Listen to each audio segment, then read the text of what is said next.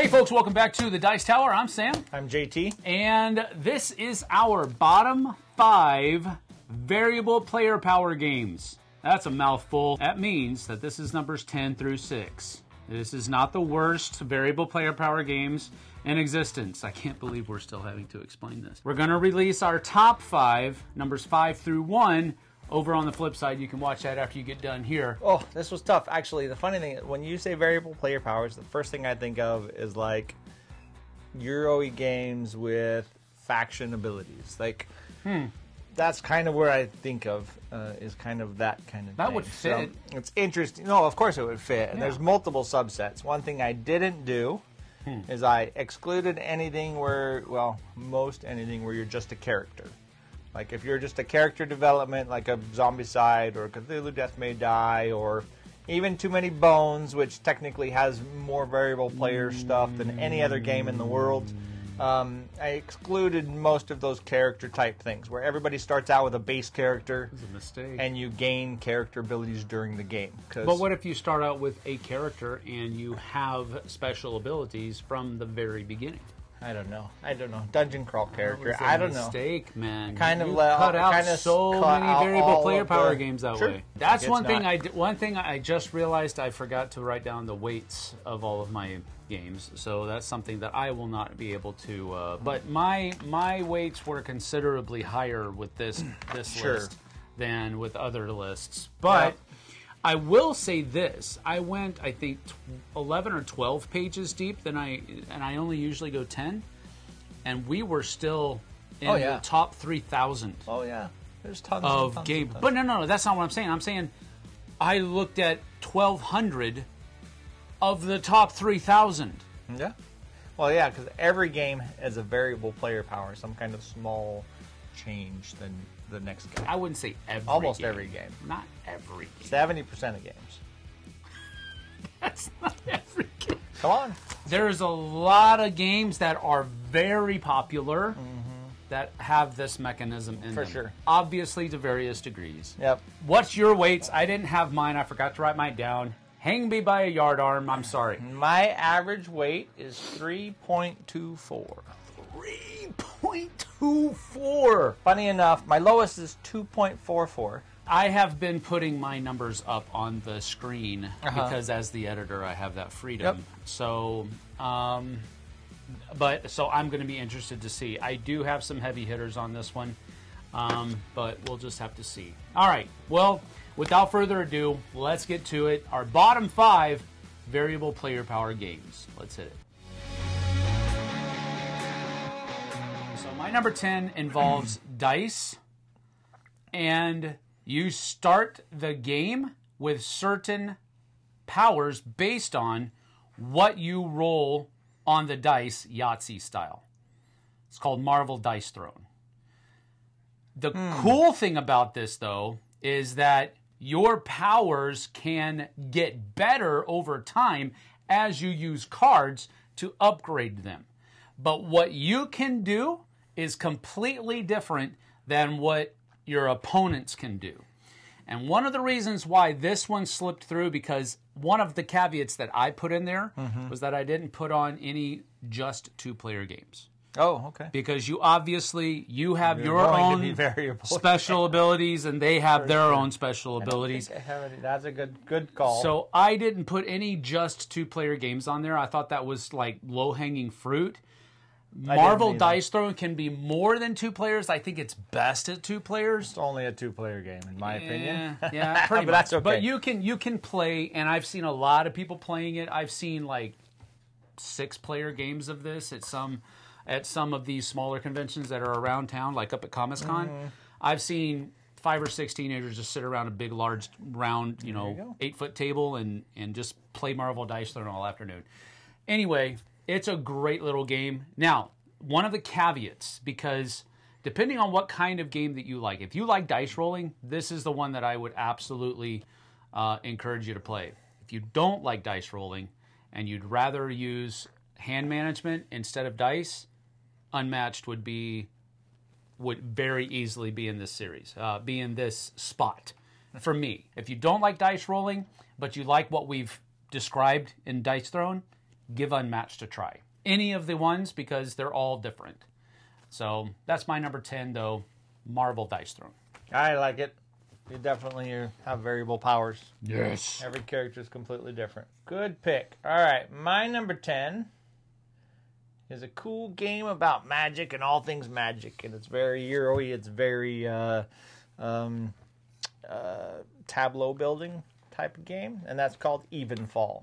In Evenfall, you have a witch's coven or a magic coven of some sort. Um, I think they're all witches, yes.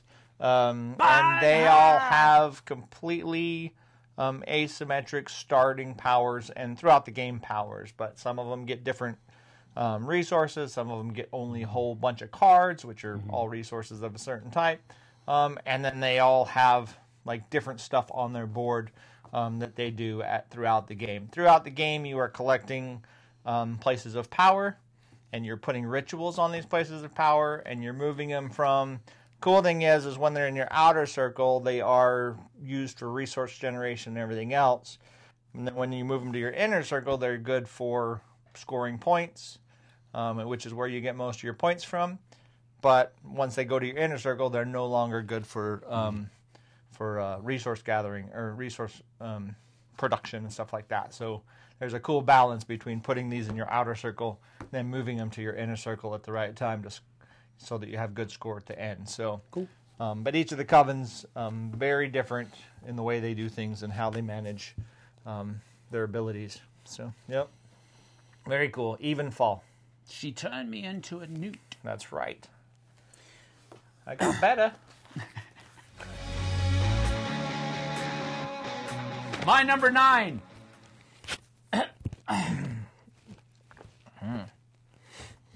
is Deliverance. Dungeon crawl. Okay. Yeah, kinda, kinda. Kind of. Yeah, it, it, it is. Horde mode or But yeah, that's that's exactly what it is. The kind of horde mode dungeon crawler. That's exactly correct. Mm-hmm. Each of the angels that the players can be at the beginning of the game have their own abilities. And it's it's not even like you can all basically do the same things. It's like some some angels are just better at doing these things than this angel. This angel is basically like what you would probably consider like a tank. This one's definitely a supporter. And they all have their different abilities that they're really good at. And party composition actually kind of plays a lot into the game uh, as you're going through it. But on top of that, just like with Marvel Dice Throne, because this is the thing that I really enjoy, uh, you can upgrade your abilities as you go throughout the game, or the talent cards that you're adding to them will do one or two things. They'll either upgrade some of the abilities that you already have, or they'll give you more uh, abilities. So it's like you start off everybody being different, but you get even more different as the game goes on. And that's one of the coolest things that I really enjoy about variable player powers. First of all, you have to be different than everybody else. Um, and I would prefer that you do that from the very beginning of the game, not that you kind of start vanilla and you grow different. I think you all need to be different at the beginning of the game for variable, variable player powers to really be a core mechanism. Um, maybe that's just a caveat that I have, but that's kind of what I brought into this list. And Deliverance definitely does that. I think it's a great game, especially for this variable player power mechanism, because everybody's very different, not just a little bit, they're very different in what they can do. And sure, you're going to be doing some of the same things on your turns, but how good you are at them uh, in different ways is very different. So that's my number nine, Deliverance. Fair enough. My number nine is oh no, not not flip side board game. Now, my number nine is a cute little card game from Adnoxley Trzewiczek and Joanna Kajinka. I don't know how to say her name. I'm sorry. Uh, from Portal Games called Imperial Settlers Empires of the North. Empires. in this game, you're getting a deck of cards which represents your clan, um, and you will be tableau building. You'll be going out to these islands and taking them over, or you'll either be conquering them or you'll just be uh, destroying them. Um, to you can conquer them to bring them into your tableau. Um, but every one of the clans plays completely different Um, like I said, you're going to be sailing out to the islands. You're going to be becoming farmers. Some of the clans are banking. You know, it's all about getting resources and trading them in for, you know, money and all that kind of stuff. So there's a whole bunch of different. Every single clan plays 100% different. And when you pick up a deck of cards and start playing through them, they all feel um, significantly different. So it's a really cool game. Yep. Um, and all the decks being different like that is a really neat puzzle playing against the other decks as well. So I agree. um, that's Imperial Settlers, Empires of the North. Good pick. Good pick. Good pick. My number eight is a 4X game that you can play in just about two hours, two to two and a half hours. And uh, that is one that is made by my good friend Roy Kennedy. It's called Last Light. Now, this one also, I put it on my short list because, yes, it has variable player powers. You all start with your Sure. own little race that you are in the universe at the very beginning of the game, um, and and it, it it can determine how different your uh, things are, your ships are. It can determine different uh, things that you can do while you're on the planet or while you're exploring. There, there's a lot of different ways that you're. There's a lot of different races in there A lot as of well. different races. Yep. It doesn't really have much to do about making your ships different. Your technology is really where that kind of bleeds into making you and your presence on the board much different. So I really struggled with putting Last Light on the list, not because it isn't a good game, but because of how strongly the variable player power was a mechanism in the game. And then I remembered at how badly Lance whooped us. Well, sure, but I don't think he can coordinate those two things because he didn't whip us with his asymmetric powers. He whipped us with a couple of cards he got out of the deck, technology cards that he. But it was with. how his asymmetric player powers were able to take advantage of those cards. his race didn't mess with it. I'm pretty sure it did. I don't think it did, but I it think could it, be wrong. I think it was a perfect Um, storm of all of those coming together in one game. Yeah, that's possible. That was my main catalyst for putting Last Light on this list, not because it was a it, it's a bad game in any way, shape, No, shape or form. no. It's just that it didn't feel like it was going to be that big of an impact on the game until I remembered how much it has impacted games in the past. And not just the one with Lance. Fair. Mm-hmm. That was the main one. But uh, I remember how people in the past have used their special abilities um, to great effect. So I went ahead and put it on. It's lower on the list because of that. But um, I I think it fits, uh, and I, I think it's a great game that does use variable player powers well. So that's my number eight, Last Light. And they definitely give you a good start and a Yes. good Absolutely. direction. All right, my number eight is oh no, not the lightest game on my list, but one of the lighter games on my list.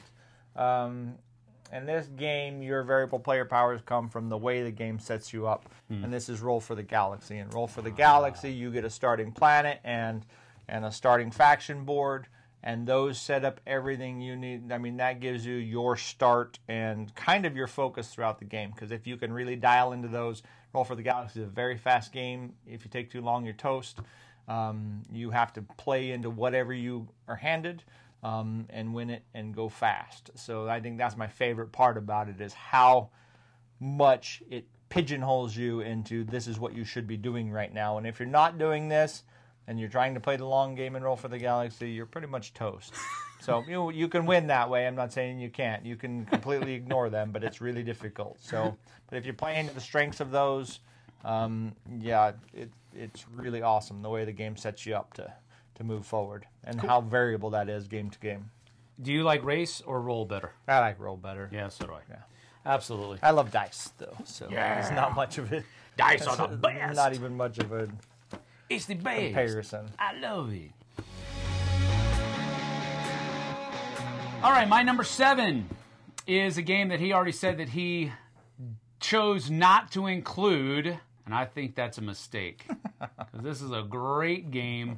It's called Cthulhu Death May Die. I love the differences in the characters in this one.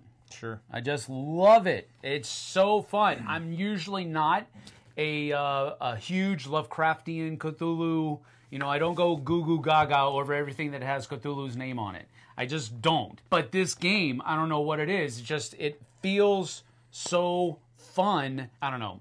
I've only played it a couple times. Got It's, my it's thematic. It picks you up at the very beginning, and your Yes. heart is racing to the end. And I played um, the nun on both things games. happen going on. You And should the play other somebody else. No, I want to. I like because we used we, She's we really played cool, we but- played different different scenarios. So Yeah. I played the nun, and I was just like, "This is so fun." Got got our butts kicked in the first game. I still had a whole lot of fun. Second game, pl- chose to play the nun again in a different scenario. Had a great time. Very memorable. Um, I just like how all of the different characters are so different. JT I was have no idea how many different characters there are. Um, I bet you I have thirty of them. But really that many. yeah, and you play one. Wow! But- holy Moses! on that note, not that I should complain on this video, but um, season three and four are coming out. They're out. Some backers have them now. Mm. Um, Miniature Market is selling it right now, and I still don't have my copy. Oh. So U.S. backers are not supposed to get them for another month. What? Yeah, so Then how did Miniature Market get it? I don't know. They man. are a US based all, all company. the distributors. I know distributors are selling everywhere, um, and we're we're getting them late, late, late. Arr. Shame, shame, but shame. anyways, regardless, end of October, You we're gonna have name. A bunch more old ones, a bunch more characters, a bunch more scenarios. I wonder if we'll get that one to the table. I will. We shall. Oh, It's gonna have to show I up. promise I won't play the nun this time. My number seven, it's actually kind of a different kind of variable player power, in my opinion, um, which I like, and I like the way they do, Do it. And this is Roll Player.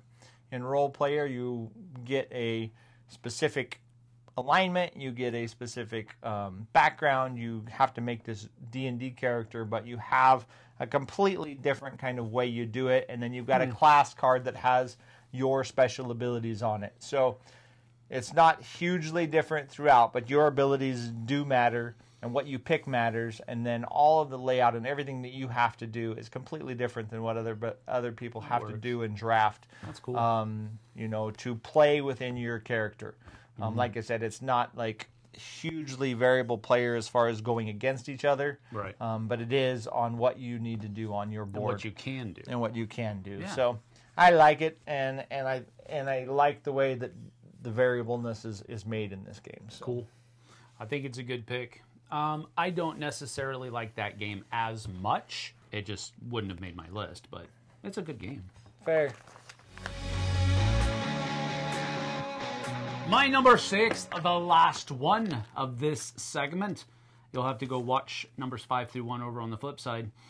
My number six, however, is a game that probably usually gets looked at as a social deduction or a one versus or a team game or a, a social experiment or whatever you want to call it.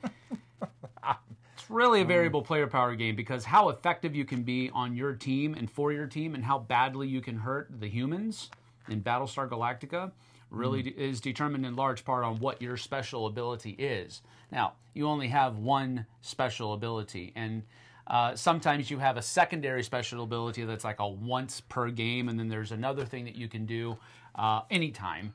Uh, it usually has that duality in it, but uh, the the one thing that you can do per game, you really have to use that to its uh, extent. The other thing is just something cool that you can do that nobody else can do. So there isn't a, a whole lot of differentiation, except if you want to take into if you want to take into effect the kinds of cards that you can pull and the kind of character that you are. Some characters, like the engineers, will draw more of a certain. I think it's the blue cards. Sure. The fighter pilots will draw more reds and that type of thing. So there's another level, I guess you could say, to the variable player power mechanism that's there uh, built into what kind of cards you'll have in your hand. So I guess that counts as well. Um, but the games that I've played of it, who you are really matters. How you use your special ability really matters. can you get by without using your special abilities to great effect? Yes, you can. But I really enjoy this game. And I have seen it where the player powers are super important and they super kind of provide the linchpin for how well or how poorly you do. So that's my number six Battlestar Galactica, the board game. Nice. Nice, nice. My number six. What's your, where's your where's your New York mob boss voice? I need that one. I'm not using it, but Forget about it. that's right. What are you talking about? huh? My number six is Scarface 1920. In Scarface I'm gonna 19, make him an offer he can't refuse. right. in Scarface 1920, you're trying to control the boroughs, huh? That was horrible, by the way. It was good. I liked it. I don't think so. trying to control the boroughs in New York, and um, and uh, you have a variable. Your your gang is completely different. The way your boss does, what your boss's abilities are, um, extremely different than the other ones. Even even your actions on your board are different than the actions on the next player's board. Um, they're different variations, or they're mixed up in different ways, you know, and connected together in different ways. But the boss's abilities are very different.